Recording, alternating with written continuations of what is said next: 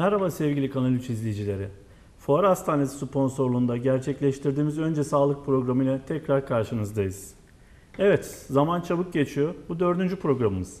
Bildiğiniz gibi her programda kendi alanında uzman, farklı bir branşta konumuzu konuk edip ilgili branşıyla ilgili e, bir takım hastalıkları, güncel konuları konuşup sizin aklınıza gelebilecek soruları cevaplamaya çalışıyoruz.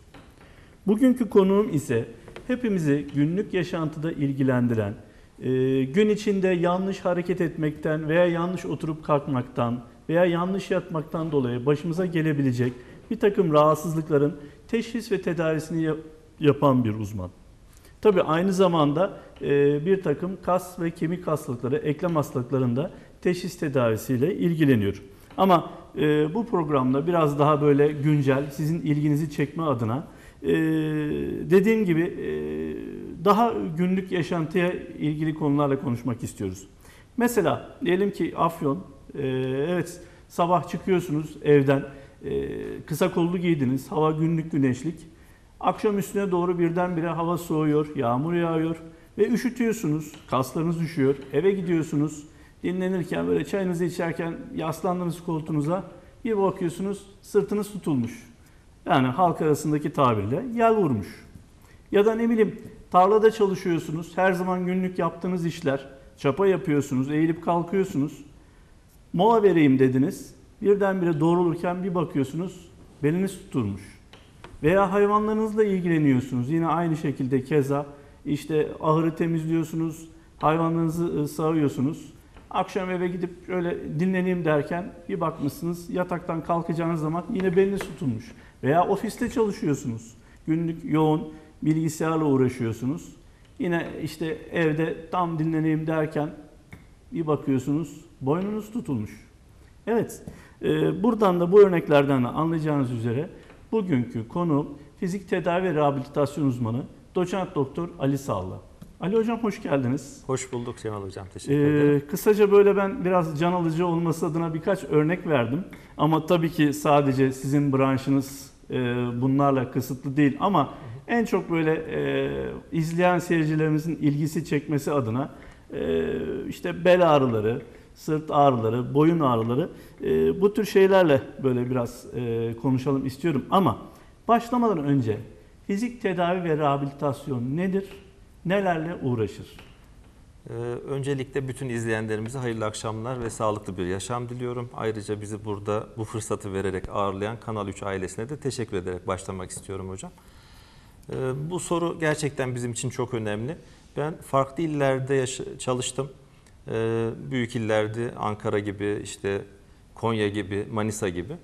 Ee, yalnız Afyonkarahisar'da bunu daha belirgin olarak gördüm. Bu arada kendi memleketim de burasıdır. Allah'a hani şükrediyorum burada kendi en azından memleketlilerime, e, hemşerilerime hizmet verme anlamında bana fırsat verdiği için. Ee, Burada onun daha belirgin olduğunu gördüm. Hani e, farklı yanlış inanışlar ve branşlar seçerken farklı noktalarda yapılan yanlışlıklar olduğunu biliyoruz. O yüzden e, kendi branşımı tam anlamıyla anlatabilirsem inşallah bu programda e, daha verimli olacağını, insanlara bu anlamda katkı sunacağını düşünüyorum. Fizik tedavi e, duayen hocalarımızdan bir tanesi şöyle derdi aslında kesinlikle diğer meslektaşlarımız alınmasın ama e, tıp ikiye ayrılır. Fizik tedavi ve diğerleri şeklinde böyle bir hafif latife şeklinde bir yaklaşımı vardı. Burada aslında bir noktada haklılık payı var. Fizik tedavi gerçekten birçok farklı branşla etkileşim halinde olan, Evet. hastalıkları tedavi ederken birbirine destek olan ve bizim multidisipliner yaklaşım dediğimiz hani farklı uzmanlık alanlarının aynı anda ortak bir hedefe yönelik aslında çalışmasına bu anlamda en fazla aslında etkileşim gösteren branş diyebiliriz. Asıl orijinal ismimiz aslında fiziksel tıp ve rehabilitasyon diye geçiyor ama halk arasında da bu şekilde biliniyor. Bize de sorduklarında fizik tedavi uzmanıyız şeklinde kısaltarak söylüyoruz. Ee, Bunun hani sebebi, bu ismin verilmesinin sebebi aslında şu. Farklı hastalıkların tedavisinde, bu çok çeşitli birazdan zaten detaylandıracağız. İşte kas iskelet sisteminin ağırlığı durumlarından tutun, işte hareket ve fonksiyon kaybına sebep olabilecek, doğumsal ya da daha sonradan ortaya çıkabilecek engellilik, özürlük durumlarının tedavisine kadar. Ee, Bu hastalıkların, bu patolojilerin tedavisinde fiziksel ajanları, fiziksel tedavi teknik yöntemlerini kullanan aslında branş olduğu için fizik tedavidir. Nedir bu fiziksel ajanlar, bu fizikte, fiziksel yöntemler dersek, Sıcak da bir fiziksel yöntemdir. Soğuk da bir fiziksel yöntemdir. İşte bizim farklı böyle su hareketlerinden istifade ederek uyguladığımız tedavi yöntemlerimiz var. Suyun hareketleri aslında fiziksel bir yöntemdir. En başta zaten egzersiz geliyor. Manuel terapi dediğimiz işte elle direkt doğrultma, düzeltme şeklinde farklı yaklaşımlarımız aslında bunların hepsi fizik tedavi kapsamı içerisinde incelenebilir. Rehabilitasyon tabii bunun biraz daha e, sağ olsun bu anlamda bize çok fazla destek oluyorlar. Fizyoterapist arkadaşlarımız var. E, bu arada o anlamda da aslında bir kavram kargaşası bazen yaşanıyor. Ben onu da çok kısa hani ifade etmek istiyorum.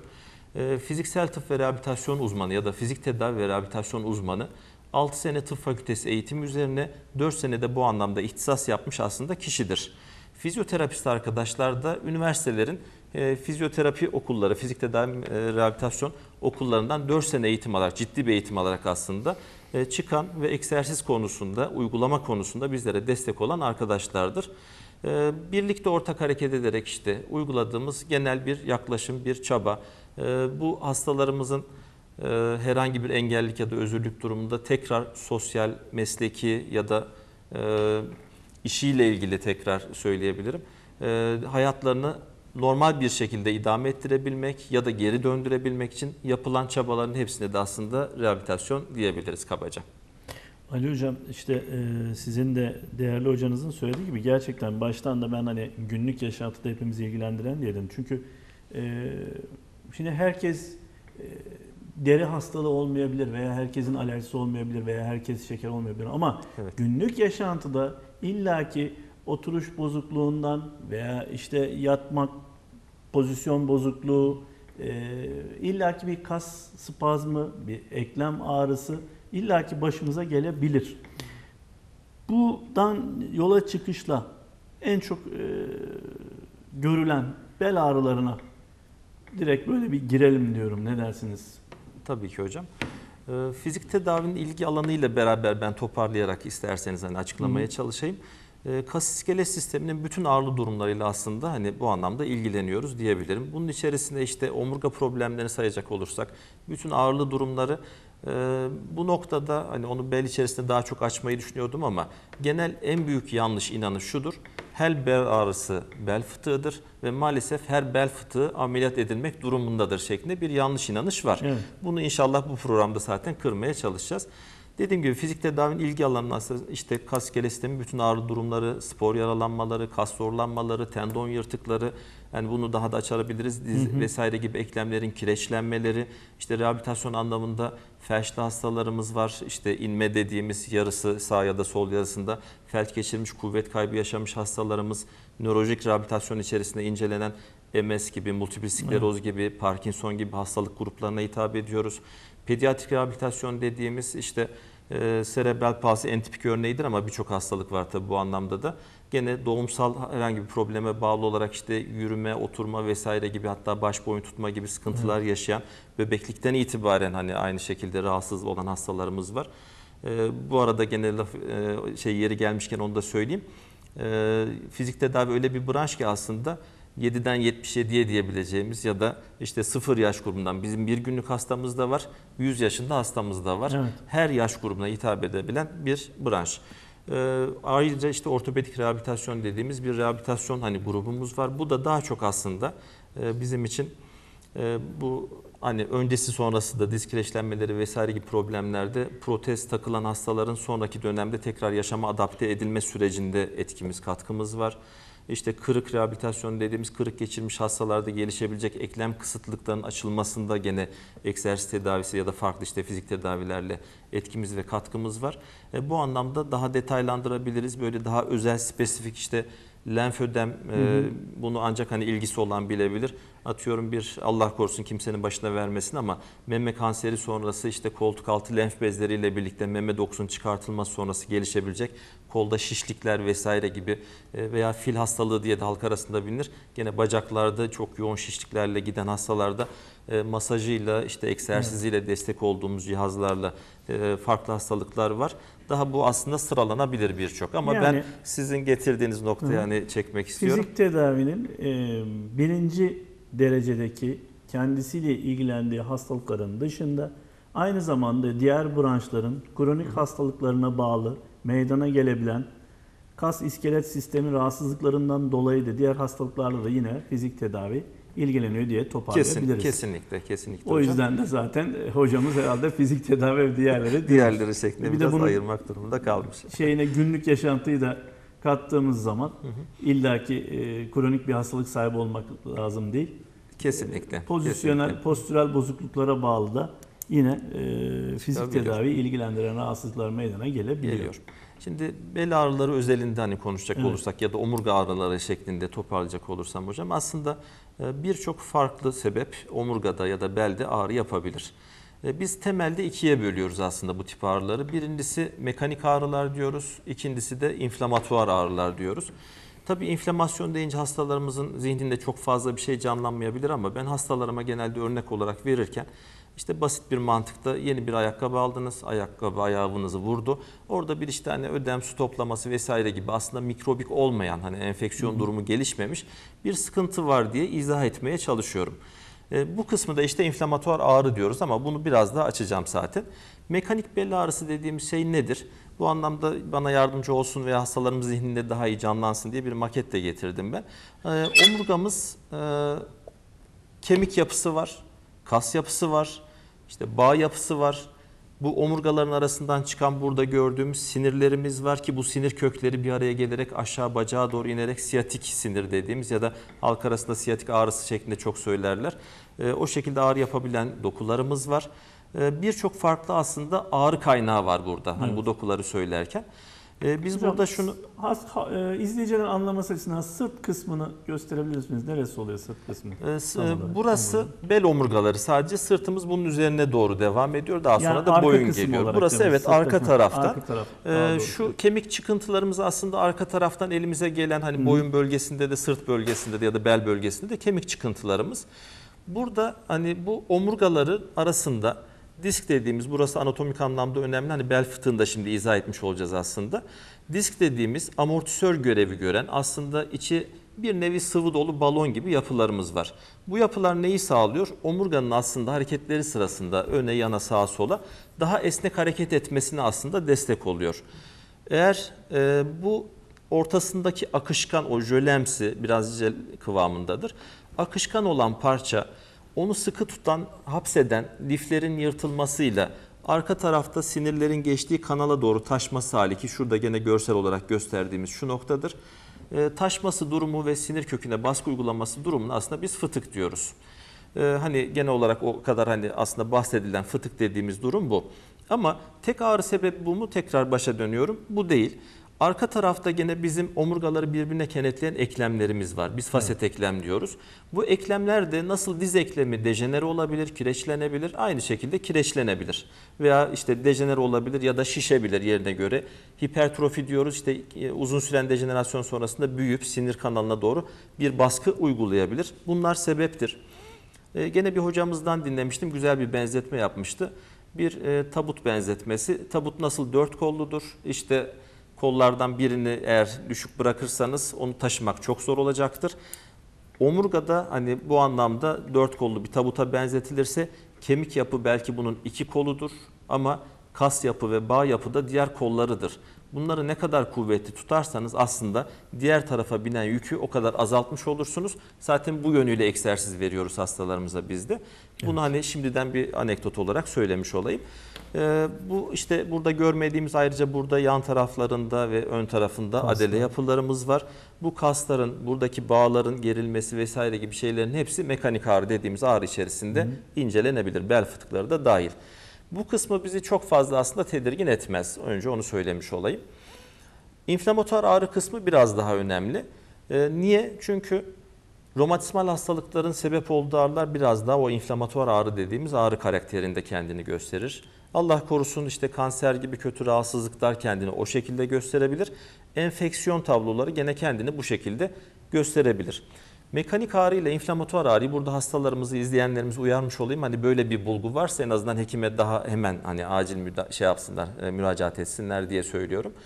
Normalde mekanik karakterli ağrılar biz hareket ederken bizim pozisyonumuza bağlı olarak gün içerisinde daha çok hastayı rahatsız eder. Ama inflamatuar karakterdeki ağrılar Gece gündüz devam eder hatta geceleri de artabilir. Özellikle gecenin ikinci yarısından sonra yani sabaha karşı ben bel ağrısıyla uyanıyorum diyorsa bir kişi o zaman bu anlamda biraz dikkat etmek lazım.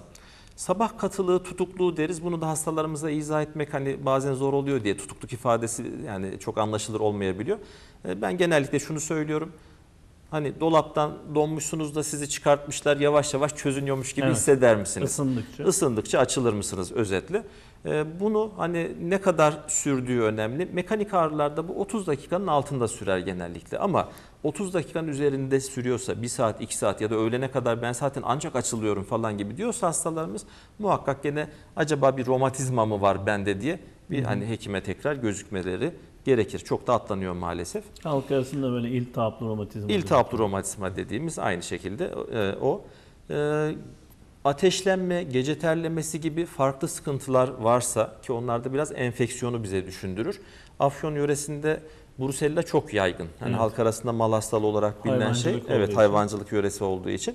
E, Brusella omurganın kendisini ve aynı zamanda diski de tutabilen bir hastalık. Spondilodiskit dediğimiz hem omurganın hem de diskin iltihabını ortaya çıkartabiliyor. Ama yanında muhakkak çok ciddi halsizlik gibi, ateşlenme gibi, gece terlemesi gibi bizim mekanik ağrıda beklemediğimiz sıkıntılar oluyor. Bunu da gene hasta kendisini dinler ve hekime bu şekilde izah edebilirse yol gösterici olacaktır. Bahsetmişken kısaca araya gireyim. Ee, Brusella için söylüyorum. Evet hocam. Tamamen tedavi edilebiliyor mu Brusella e, bu söylediğiniz e, sizi ilgilendiren kısım için? İleri yönelik de bir şey kalabiliyor mu? Aras kalabiliyor mu? Normalde Brusella tedavi edilebilen bir Evet. hastalıktır. Sadece biraz uzun soluklu antibiyotik kullanması Evet. gerekiyor. 45 gün kadar öneriyoruz. İkili antibiyotik kullandırıyoruz ekseriyetle. Ee, yalnız özellikle omurgayı iltihaplandırır, işte diski iltihaplandırırsa orada iltihap olan dokuda bir müddet sonra dejenerasyon meydana geliyor. Hastalar bize daha sonra bunun sonradan doğurduğu işte kireçlenmeye benzer ya da bu dejenerasyonun getirdiği ek problemlerle tekrar başvurabiliyor açıkçası. Hani o anlamda %100 kür edilebilir mi? Bazen eğer omurgayı tuttuysa zor ama normalde tedavisi olan ölümcül olmayan kesinlikle bazen öyle yanlışlar da hani ifade anlamında söylenebiliyor. Bir rahatsızlıktır Brusella hocam. Yani e, malum sizin de söylediğiniz gibi Afyon hayvancılık bölgesi. Evet. Brusella'da her anlamda çok görüyoruz. Yani biraz daha böyle dikkat çekici, can alıcı olması e, ve halk arasında da çok e, merak edilen bir konu olduğu için böyle biraz daha e, detaya girelim dedim. Peki bel fıtığından bahsettiniz Evet hocam. Ve aynı zamanda oradaki kasların da tutulmasından, spazmından. Fizik tedavi uygularken o zaman hem o fıtık bölgesini rahatlatma hem de aynı zamanda kasları da rahatlatmak gibi iki amacımız oluyor galiba değil mi? Kesinlikle. Önce hani ağrının ve orada enflamasyonun kontrolünü sağlamaya çalışıyoruz. Ee, aynı zamanda da kişiyi tabii günlük yaşamada adapte etmemiz açısından bir an önce fonksiyonel kılmaya çalışıyoruz. Bu anlamda yaptığımızda işte farklı hani fizik tedavi anlamında yöntemlerimiz var. Ee, programın girişinde söylediğimiz gibi her bel ağrısı bel fıtığı değildir ve Evet. her bel fıtığı da hemen ameliyata gitmek durumunda değildir. Biz de teorik bilgi anlamında der ki yani pratikte de görüyoruz bunu. %85'i insanların e, hayatlarının bir döneminde bir şiddetli bel ağrısı atağı yaşar. Evet. Bu atak kendiliğinden bile bazen hiçbir şey yapılmasa bazen basit bir ilaçla bile 2 hafta içerisinde 3 hafta içerisinde kendiliğinden gerileyebilir.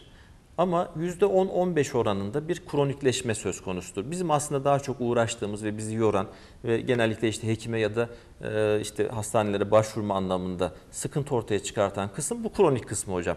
E, Burada işte hani biraz daha fizik tedavi olarak ne yapıyoruz kısmını hani sormak istediğinizi anladığım kadarıyla. Onun üzerinden götüreyim. Bizim fizik tedavide kullandığımız birçok az önce bahsettiğimiz ajanlarımız var. E, Burada normal yüzeyel ve derin ısıtıcılar diye biz sıcak uygulamaları ikiye bölüyoruz aslında. Yüzeyel sıcak dediğimiz işte sıcak kum torbaları falan gibi içerisinde silikaçları olan ve sıcağı uzun süre muhafaza eden uygulamalar. E, Yüzeyel dokuları, kasları vesaire hızlı en azından etki ederek gevşetir. Ama problem daha derindedir. Bu yönüyle oranın metabolizmasının canlandırılması, oradaki iltihabi sürecin bir an önce toparlaması ve ağrıya sebep olabilecek bazı ara maddeler vardır. Bunların bir an önce atılması için biz derin dokulara da etki etmeye çalışıyoruz. Bunun için de nasıl hani herkesin bildiği bir görüntüleme yöntemimiz var ultrason dediğimiz ses frekanslarıyla e, görüntüleme yapan. Ee, bunu biz hani farklı frekanslarında derin ısıtıcı olarak kullanıyoruz. Örneğin e, kısa dalga diyatermi falan dediğimiz gene böyle derin ısıtmakta kullandığımız ekstra cihazlarımız var. Bunlar cihaz etkisi. Ağrıyı azaltabilecek elektrik akımlarından istifade ediyoruz. Hastaya elektrik yani bu anlamda uygulaması yapıyoruz. Onlar da çok farklı aslında. Ve gene bizim traksiyon ya da dekompresyon cihazı dediğimiz e, farklı böyle mekanik etkiyle beli açarak yani hastanın gövdesini stabilize ediyorsunuz, sabitliyorsunuz, bacaklarını az çok sabitliyorsunuz ve asılma yöntemiyle halk arasında aslında işte bel çekme yönteminin daha bilimseli kesinlikle. Ne kadar süreyle asılacak cihazımız, ne kadar süreyle bırakacak, kaç kiloyla asılacak bunların hepsini önden ayarlayabiliyoruz ve zaten hekim reçetesi bu olmuş oluyor aslında fizik tedavi anlamında. Söyleyebiliyoruz ve asıldığımızda ortaya çıkacak vakumlama etkisi ya da negatif basınçla diyelim bu çıkan parçanın tekrar yerine oturtulmasını aslında ve gene faset eklemlerin birbirinden ayrılarak o dejenerasyonda bağlı ağrının sebebin ortadan kalkmasına ve gene kası bir miktar gererek kas spazmını çözmeye yönelik aslında bir uygulamadır. Oldukça da başarı aldığımız bir uygulama. Burada şunu çok küçük olarak söylüyorum. Bazı hastalarımız bana geldiğinde işte e, şikayetlerin uzun süredir devam ettiğini ifade ediyorlar. İşte fizik tedavi gördünüz mü diyorum. Evet gördüm ama hiç faydası olmadı diyor. Ben de hani bunu soruyorum biraz açmaya çalışıyorum. İşte şunu uyguladılar mı? Evet. Şunu uyguladılar mı? Hayır vesaire gibi. Aslında fizik tedavi bu az önce saydığımız yöntemlerin doğru şekilde kombine edilmesiyle tam anlamıyla kendini aslında gösterir. E, Mesela traksiyon benim en çok fayda gördüğüm bel fıtıklarında tedavi yöntemi ama maalesef bazen hani hekim arkadaşlar yan etkileri bir ihtimal olabilir mantığında belki E, vermek istemiyorlar, verilmiyor ve ona bağlı da hastada bir ön yargı gelişiyor. Fizik tedavi gördüm, rahatlamadım diye. Doğru fizik tedavi diyoruz onda da tekrar. Doğru Sevgili şekilde reçete edilmesi lazım. Kısa bir reklam ara var. Lafını balla kesiyorum. Evet, Reklamlardan sonra tekrar karşınızda olacağız.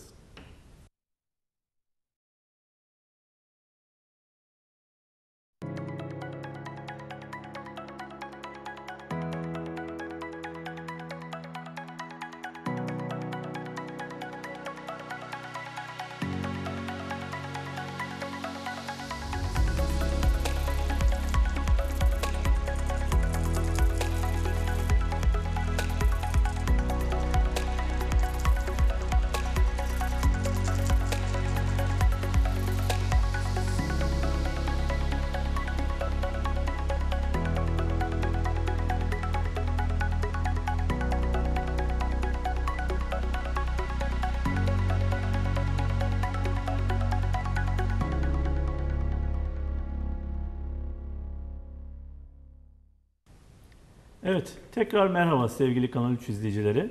Önce sağlık programı tüm hızıyla devam ediyor. Ekranı yeni açanlar için tekrarlamak istiyorum. Fizik tedavi ve rehabilitasyon uzmanı doçent doktor Ali Sallı konuğumuz. İlk bölümde e, bel ağrılarını konuşuyorduk. E, orada kaldık. Tekrar oradan devam etmek istiyorum Ali Hocam. E, her hastayı ameliyata göndermiyoruz veya her hasta ameliyat olmuyor dediniz. E, hastanın ameliyat olacağına hangi aşamada karar veriyorsunuz? Veya hasta geldi size bel ağrısı, bel fıtığı teşhisi konmuş. Ee, yok buna fizik tedavi uygulamayalım veya önce fizik tedavi uygulayalım. Yani ne şekilde ayarlıyorsunuz bunu? Neye göre karar veriyorsunuz? Hocam e, öncelikle bu soru için ayrıca teşekkür ediyorum. Bu gerçekten en önemli sorulardan birisi. E, ameliyat kararı verirken, fizik tedavi kararı verirken de en önemli şey aslında bizim muayenemiz ve hastayı bu anlamda iyi dinlememiz.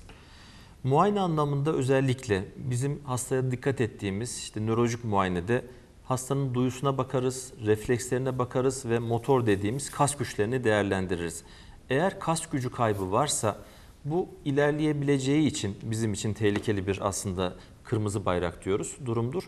Ee, direkt ilk gördüğümüzde bile ya sizin hani bir beyin cerrahi tarafından değerlendirilmeniz yani veya işte bel omurga cerrahisiyle uğraşan bir kişi tarafından değerlendirmeniz gerekir dediğimiz durumlar da oluyor.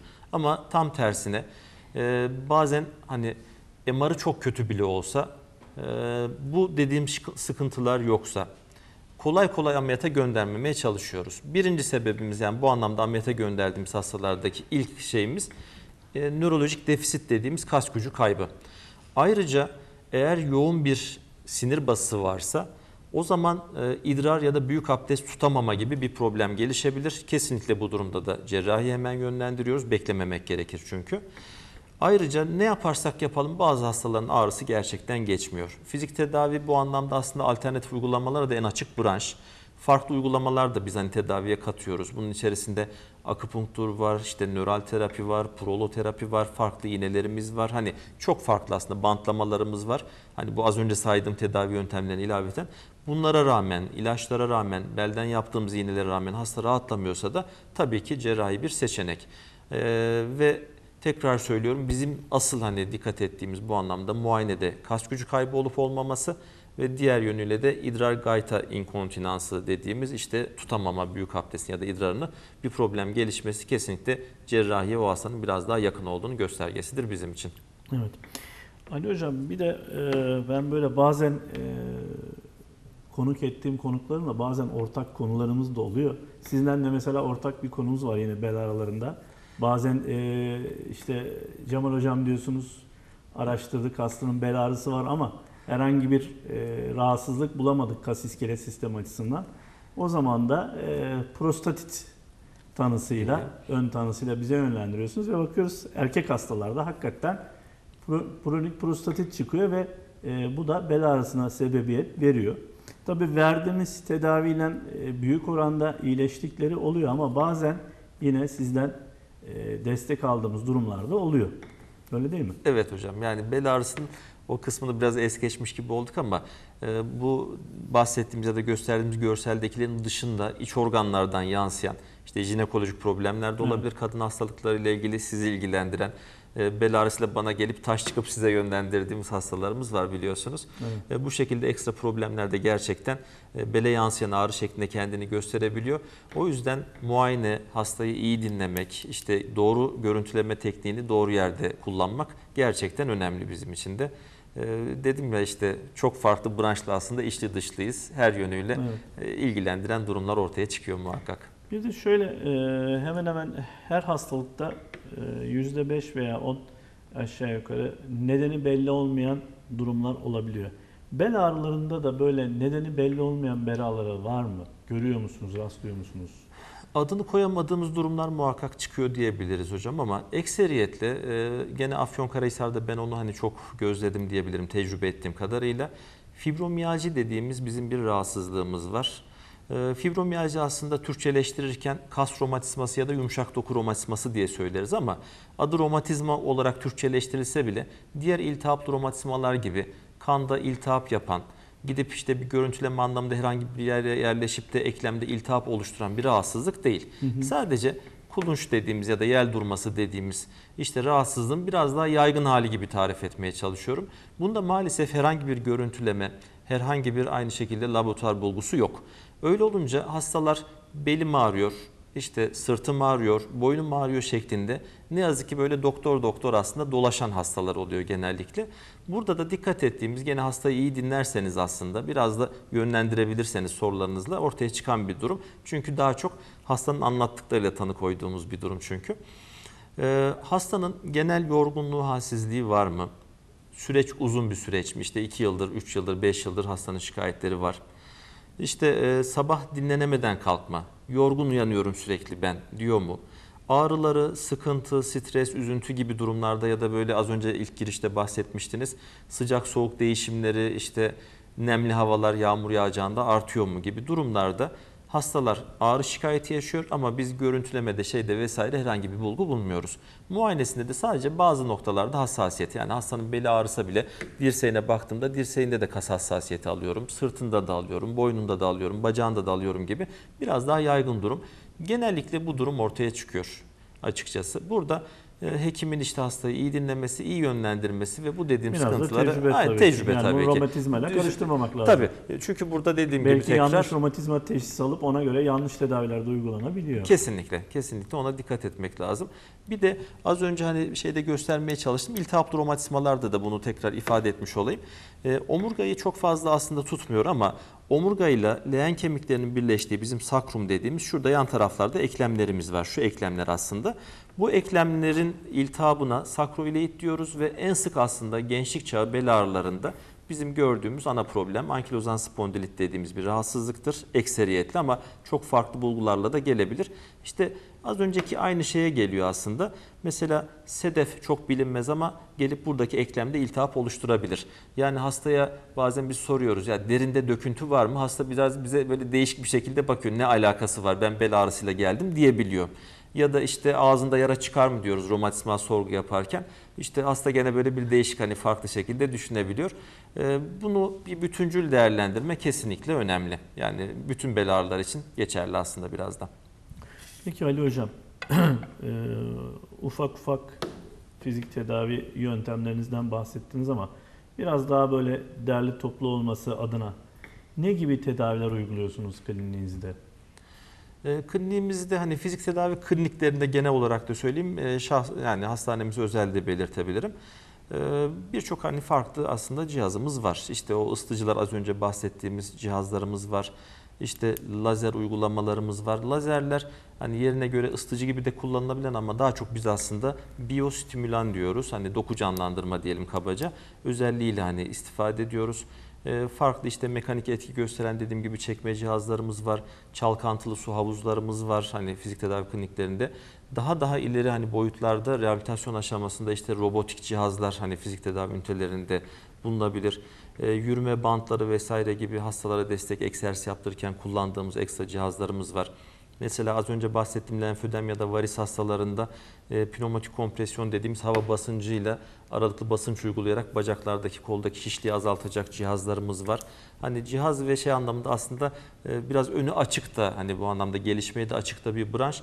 Elektrik hani uygulamalarımız var ki elektriği sadece biz ağrı için kullanmıyoruz. Felç olmuş bir işte veya siniri kesilmiş bir dokuda siniri uyarabilmek ya da kas dokusunu gene uyarabilmek için kullanıyoruz gibi aslında birçok farklı şeyimiz var hocam o anlamda. Peki Ali Hocam ben genel bir soru soracağım ama siz bunu hastalık bağında özelleştirebilirsiniz. Fizik tedavi uygulanmaması gereken durum veya anlar var mı? Bir hasta geldi, fizik tedavi alması gerekiyor ama işte falanca aşamayı geçse veya akut dönemi geçse ve yani romatizmal hastalıklarda mesela Tabii. e, diğer hastalıklarda da böyle dönemler var mı ya da hangi hastalıklarda uygulanır, hangi hastalıklarda uygulanamaz? Yani bu hani bel fıtığı da olsa hocam e, çok akut dönemde direkt hastayı fizik tedaviye genellikle almıyoruz. Öncelikle enflamasyon olduğu için hastalarda bir ilaç tedavisi gerekirse hatta kortizollu ilaçlar Yani Ee, ağrının yoğun olduğu dönemde ilk dönem için söylüyorum evet, akut dönem için söylüyorum. E, işte istirahat vesaire gibi veriyoruz. Romatizmal hastalıklarda da fizik tedavi evet uygulanabilir. Kaplıca tedavi sıcak uygulama işte kaplıca memleketindeyiz. Uygulanabilir ama bir hasta dizi şişmiş, eli şişmiş, aktif olarak iltihaplı bir eklemi Aktif var. dönemde, evet. Bu dönemde kaplıcaya da gitmesi doğru değil, sıcak uygulaması da doğru değil. Onun istirahat edip soğuk uygulama yapması gerekir. Ha, aslına bakarsanız işte mesela ağrı kesici bir elektrik akımı uygulasanız problem oluşturur mu? Oluşturmaz. Yani o yönüyle her hasta aslında alınabilir. Ama biz gene de romatizmal hastalıkların akut dönemlerinde eklem iltihabı vesaire varken almamaya çalışıyoruz. Enfeksiyon varsa enfeksiyonlu dokuya direkt işte az önce bahsettik Brusella, tüberküloz vesaire gibi enfeksiyonlarda fizik tedaviye almıyoruz. E, Kırığı varsa açık kırık zaten alınmaz ama onun dışında kırık tespit edersek de genellikle bir destek verip işte ortopedi beyin cerrahi gene birlikte istişare ederek karar vermeye çalışıyoruz. Sadece egzersizini düzenleyip hani bu tip cihazlarda bir çekme aletini almıyoruz mesela kırığı olan hastayı. Gebelerde biraz daha dikkat ediyoruz hani gebelikte. onu soracaktım. Gebelikte dikkat ediyoruz. Bir de e, bazı vücudunda mesela kalp pili gibi ekstra elektrik akımlarından etkilenebilecek farklı cihazlar olan hastaları alamıyoruz ya da dikkatli alıyoruz diyeyim. Mesela elektrik akımını böyle bir kalp pili olan hastaya verirseniz ya da elektromanyetik alana sokarsanız hasta işte MR'a giremez zaten o hastalar biliyorsunuz. Hastaya zarar vermiş olursunuz Allah korusun. Bunları sorgulayarak alıyoruz tabii. O zaman kısaca hastalığın herhangi bir hastalığın ilk döneminde yapamıyoruz, yapmıyoruz dersek doğru olur herhalde değil mi? Evet kabaca doğru olur hocam. Peki e, gebelerden bahsettiniz. Çocuklarda, yaşlılarda durum nasıl fizik Ee, tedavi? Az önce bahsettiğim gibi biz aslında bir günlükten, sıfır günlükten e, 100 yaşına kadar hasta alıyoruz. Çocuk hastalarımızda özellikle rehabilitasyon ihtiyacı varsa egzersiz anlamda hiçbir sıkıntı yok. Çocuk birçok hastamız var, alıyoruz. Elektrik aktiviteleri de onlara verebiliyoruz kasları güçlendirmek için. Onlarda gene sıkıntı yaşamıyoruz. Yaşlılar zaten bizim ana grubumuzu oluşturuyor ama az önce bahsettiğim anlamda kemik erimesi yaşla beraber artıyor. Osteoporoza bağlı, kemik erimesine bağlı bir kırığı varsa gene tabii ki biraz da dikkatli olmamız gerekiyor. Bizi de bu anlamda işte çekme vesaire gibi şeylere dikkat ediyoruz.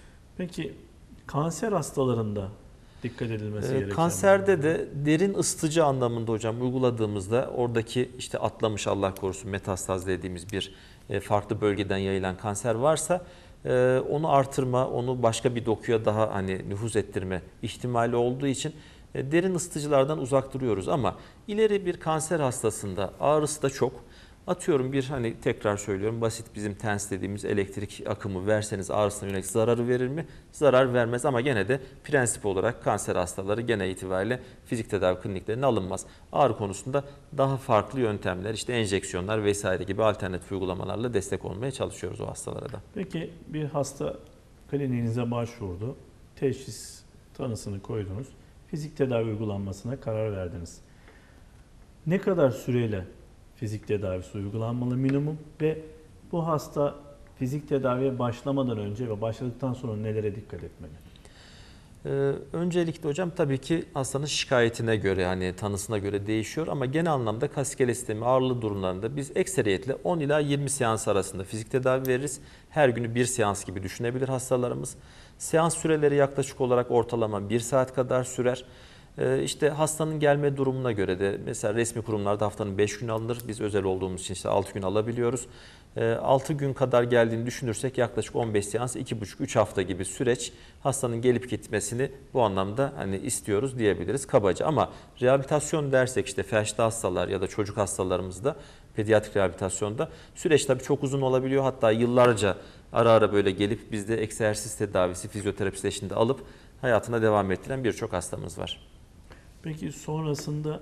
Nelere dikkat Ha, öncesinde ve sonrasında hatta diyeceğimiz hani ağırlı durumsa bu e, özellikle hastalara özel bir ay içerisinde biraz daha dikkatli, temkinli olmalarını. Tabii bu hastalığın tanısına göre değişecektir gene ama fizik tedavinin faydasının sonra sonra belli edebileceğini mesela bir ay içerisinde daha rahat hissedeceklerini tedavi bittikten sonra da bu dönemde biraz koruyucu olmalarını günlük yaşamdan kopartmak istemiyoruz hiçbir hastayı. Hareketli kılmaya çalışıyoruz ama gene de hani yoğun bir aktivite mesela hastalarıma söylerken gidip de buradan çapaya gitmeyin ya da gidip de bahar temizliği yapmayın. Hani abartılı bir iş yüküne girmeyin ama normal yaşamınıza devam etmeye çalışın. Egzersizlerinizi ihmal etmeyin. Biz hastalara egzersiz Eve de öğretiyoruz. egzersiz. Ev egzersiz programı şeklinde onları ihmal etmeyin şeklinde söylüyoruz. Gerekirse de ilaçlarına devam ettirin diyoruz. Ama fizik tedavinin zaten en güzel taraflarından biri ilaç ihtiyacını azaltması hatta gerekirse işte ağrısız bir yaşamda ilaç kullanmamayı sağlayabilmesi. Bu önemli bir nimet. İlaç kullanamayan ya da kullanmak istemeyen hastalarda böyle bir tedavi seçeneği olması oldukça önemli. O zaman yani fizik tedaviden fayda görebilmeleri için yaşam tarzını değiştirmeleri, sizin öneriniz doğrultusunda hareket etmeleri lazım. Evet, yani evet. ben 10 seans veya 20 seans fizik tedavi aldım. Tamam artık iyileşti, normale dönebilirim diye bir şey söz Kes- konusu kesinlikle değil. yok hocam. Peki buradan yola çıkarak e, bel ağrıları çok geniş bir konu zaten ama hani e, malum vaktimiz dar. Boyun ve sırt ağrıları var aynı zamanda. En çok da bunlar e, yanlış bilmiyorsam işte yanlış oturma pozisyonları, e, yanlış yatış, yanlış yatak seçme veya yastık. E, biraz da bunlardan bahsedebilir miyiz? Yani nasıl oturmalıyız veya yerden bir yük kaldıracağız, nasıl hareket etmeliyiz? Ne Evet. gibi yatak seçmeliyiz? Yastığımız nasıl olmalı? Ee, yukarıdan başlayarak şöyle boyundan itibaren söylemeye çalışayım. Biz genel olarak omurga problemi olan hastalarda bu belde olabilir, sırtta, boyunda uzun süre sabit kalmayı bir kere istemiyoruz. Bu uzun süre oturur durumda kalmasını da istemiyoruz diyoruz. Uzun süre ayakta kalmanızı da istemiyoruz diyoruz. Bel ağrılarında özellikle. Boyun içinde şimdi malum teknoloji dönemi çocukluktan itibaren herkesin elinde bir Bilgisayar, telefon, telefon. önde bir bilgisayar. E, Bunlardan uzak kalmayı istiyoruz, söylüyoruz ama ne kadar biz bunu dese de şimdi hastaya yapamayacağı bir şey teklif etmek de çok mantıklı değil. Yani yaşlı bir teyze köyden gelmiş ben ona gitsen bir yüzmeye diyemiyorum zaten ya da bir reformer pilates yap diyemiyorum zaten gibi. Ee, ama en azından belli şeyleri modifiye edebiliyoruz. İşte monitör karşımızda yaklaşık olarak tam göz hizasında ya da bir 10 santim kadar veya 10 derece kadar diyeyim aşağısında olması bizim için yeterli. Birincisi o. Monitöre karşı uzaklığımız bile biz otururken ona ergometride dikkat ediyoruz. Yaklaşık olarak 60-65 santim gibi o da bir kol boyuna falan tekabül eder. Kol boyu kadar uzaklıkta. Duruşumuz daha dik. Hani boynumuz zaten tam karşıda olacağı için monitör daha hani dik pozisyonu sağlamaya çalışıyoruz. Ee, omurgamız genel olarak dik. Kalçalar ve dizler yaklaşık 90 derece işte bükülü bir şekilde duracak şekilde. Belimizde eğer bel ağrısı varsa arka tarafında bir özel bel minderleri, yastıkları şeyler var. Onlardan destekleyerek oturmayı tavsiye ediyoruz. Oturuş anlamında kabaca böyle. Ve uzun süre oturmayı tavsiye etmediğimiz için hastalara eğer hani masa başında çalışan bir yani işi varsa e, 15-20 dakikada bir kalkabiliyorsanız 1-2 dakika şöyle gezinin tekrar oturun diyoruz. En azından oturduğunuz yerde hafif pozisyon değişikliği, sağa sola yük aktarımı. Bunu sağlarken mesela ayak altına bir 10 santimlik yükseklik şeklinde bir şey koyduğumuzda bir, bir ayağını yüksekte tutma, bir, bir ayağını yüksekte tutma. Bu en azından kısa bir pozisyon değişikliği şeklinde kendine hani yardımcı olacaktır hastalara. Bu şekilde yapabilirsiniz diyoruz. Evdeyseniz de oturuyorsanız birkaç dakika sert zeminde yatılabilir diyoruz ama bunu genel anlamda birazdan yatak seçiminde bahsedeyim. Ee, genel anlamda gidin sert yere yatıp kalın o şekilde demiyoruz. Evet. Birkaç dakikalık 5-10 dakikalık dinlenme için yapabilirsiniz diyoruz. E, oturuş genel olarak böyle. Yatış pozisyonu önemli. Genellikle bel problemlerinde işte bu hani taşan fıtığımızın bir taraf siyatik sinire bastığını biliyoruz ve tek bacakta genellikle ağrı yaptığını biliyoruz. Öyle olunca ağrımayan tarafa yan yatmasını hastalara tavsiye ediyoruz. Yaklaşık olarak benim oturuş pozisyonumun direkt yattığımı düşünürseniz işte yana doğru yattım dizlerim ve kalçamdan bir miktar bükülü bu şekilde durulabilir. Ee, ya da sırt üstü yatmayı tavsiye ediyoruz ama sırt üstü yatarken özellikle bel hastalarında muhakkak dizlerin ve baldırın altına biraz yükseklik koyup iki yastık gibi mesela e, biraz yüksekte durmasını ki o siyatik gerginliğini alacaktır. Bacaktaki o gerginlik hissini ortadan kaldıracaktır. Tavsiye edebiliyoruz. Yatış anlamında kabaca böyle. Yatarken tabii boyun önemli. Boyun yastığımız önemli. Ona da kısaca değineyim. Ee, yan yattığımızda yastığımız çok sert de olmayacak, çok yumuşak da olmayacak bu arada onu belirteyim önden. Yastığımızın yüksekliği de şu aradaki boşluk diyoruz biz. Hani yan yatarken bu boşluğu tam doldurmalı. Boyun altına ve ensemize destek vermeli. Ee, Başımız aşağıda ya da yukarıda olmamalı yan yatarken. Aşağıda kalıyorsa demek ki alçak bir yastık kullanıyoruz. Yukarıda kalıyorsa demek ki yüksek bir yastık kullanıyoruz diyoruz. Ayrıca e, bu elyaf içerikli özellikle ürünlerde e, ilk başta yüksek gibi olsa da bastığınız anda gömülüyorsa eğer, viskoelastikleri kastetmiyorum, elyafları söylüyorum. Çok gömülüyor ve alçakta kalıyorsa bunu tavsiye etmiyoruz. E, yatış ve yatak poz, yatak seçimi de çok önemli. Niye? Günlük yaklaşık olarak bir insan 7-8 saatini belki yatarak geçiriyor ve bu da ömrün üçte biri demek yani ömrün üçte birini harcadığınız bir yerde muhakkak hani dikkat etmemiz lazım. Yatak seçerken şimdi güncel birçok aslında yataklar var. Çok pahalı olmasına gerek yok hani seyircilerimiz muhakkak hani araştıracaktır eğer böyle bir arayış içerisine girerlerse. E, paket yay sistemi dediğimiz tekli yay sistemi olanlar var. Eskiden yaylar daha bütüncüldü. Öyle olunca e, omurgaya tam olarak uyum sağlamadığı gibi iki kişi yani bir karı kocanın yattığını düşünürsek birbirinden bile etkilenebiliyordu. Ama bu paket yay sistemlerinde Bağımsız bu yani. daha bağımsız hani sağlanıyor ve bunun da üzerine mümkünse viskoelastik dediğimiz hani daha böyle süngerimsi hani elimizi bastığımızda bir miktar gömülüyor sonra tekrar yukarı çıkıyor şeklinde gördüğümüz malzemedir aslında viskoelastik malzeme. Bunun hava alıcı olanlarından danstelerine göre şeyleri değişir. Yaklaşık böyle yani 7 santim 8 santim civarında onu sorabilirler üreticilere. Viskonun minderi ne kadar kalınlıkta gibi mesela. 7-8 santim kalınlıktaki bir e, visko desteği olan ayrıca bir yatak tercih edilebilir.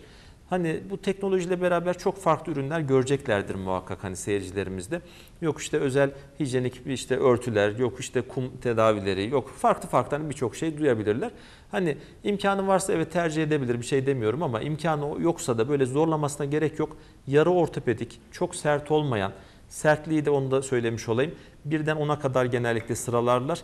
7 gibi 8 gibi en fazla bir sertliğe sahip olan ve bu dediğim özellikleri taşıyan yatak bulmaları yeterli. Ee, dediğim gibi hani illa çok pahalı ürünlere gitmesinler diyebilirim. Siz anlatırken aklıma geldi. Ee, otururken ayağı bir yükseltti şeklinde. Bilmiyorum ilkokuldan hatırlar mısınız? Öğretmenlerimizin, müdürlerimizin Altında Ayağın- bir tahta ayağının altında. Herhalde onlar da o zamanlar ergonometriyi biliyormuş, düşünüyormuş. Yani ben Biliyorlarmış diyebiliriz. hiç şey yapmamıştım da siz söyleyince aklıma geldi. Kesinlikle hocam ben normalde hastalara örnek verirken hatta onu hatırlatmaya Evet. çalışıyorum. Yeni nesile değil tabii Hatta ama şöyle bizim biraz böyle jenerasyona. hafif üçgenimsi. Aynen aynen. Ee, o şekilde jenerasyon onları hatırlatıyoruz. Bakın bunu da siz de yapabilirsiniz Evet. şeklinde söylemeye Ali hocam, çalışıyorum. konularımız çok geniş. Yani çok güzel şeyler anlattınız, çok güzel şeyler söylediniz. Ee, bak fakat vaktimiz kısıtlı, sonuna da geldik. Umarım bir dahaki programda e, tekrar farklı konularda konuşuruz. Ee, ne iyi ettiniz, hoş geldiniz, ayağınıza sağlık. Ee, çok tekrar teşekkür, teşekkür, ediyorum. ederim. Ben de çok keyif Yoğun aldım tempoda hocam. bize zaman ayırdınız. Çok sağ olun. umarım başka programda görüşürüz. İnşallah hocam dediğim gibi ben de çok keyif aldım. Sizlere özellikle teşekkür ediyorum. Size ve burada bizi güzel bir şekilde ağırlayan Kanal 3 ailesine tekrar teşekkür ederim. Biz teşekkür ederiz. Evet sevgili seyirciler, yine programımızın sonuna geldik. Bizim için keyifli geçti. Umarım sizin için de keyifliydi.